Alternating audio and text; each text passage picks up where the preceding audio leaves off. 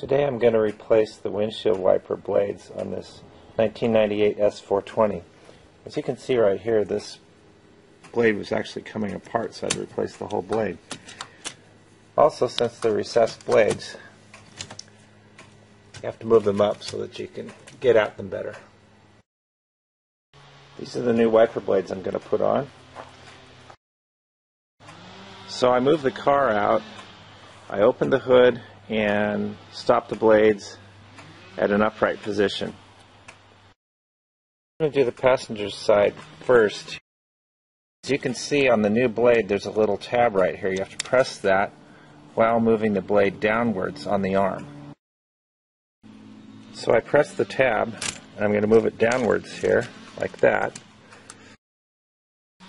So now that it's loose, I'm going to take and put this rag underneath to keep the blade arm from hurting the glass. And that's the old one. Taking it off, I'm going to put the new one on next. To put the new one on the passenger side, you simply reverse the procedure. This just slides in right there, and then you slide it upwards on the arm. Now that it's in there, we just slide it upwards, and it clicks in place like that. And now the passenger side is finished. Now onto the driver's side. A little more, a little different and a little more difficult to access. As you can see, the driver's side is different. There's no tab down here like there was on the passenger side.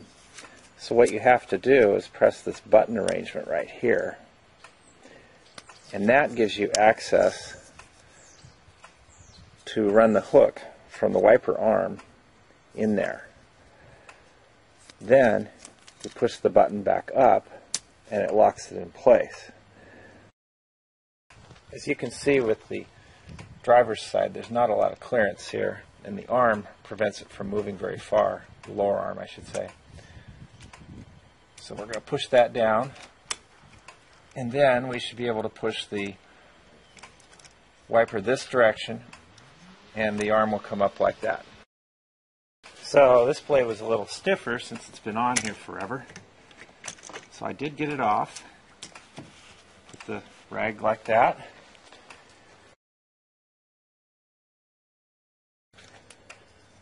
So to put the new one on, push this tab down like that and then place it on the arm.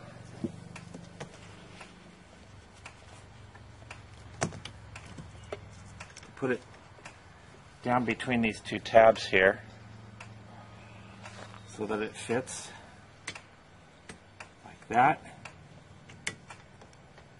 And we have to slide it in place once it's in the proper position by pulling it upwards. Now that I have it aligned correctly, I'm just going to pull it forward like that.